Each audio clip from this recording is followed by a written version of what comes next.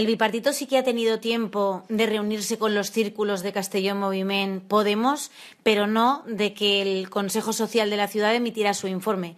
Así que vamos a pedir explicaciones por unos presupuestos que consideramos irregulares porque han incumplido el procedimiento y, por tanto, están viciados de origen.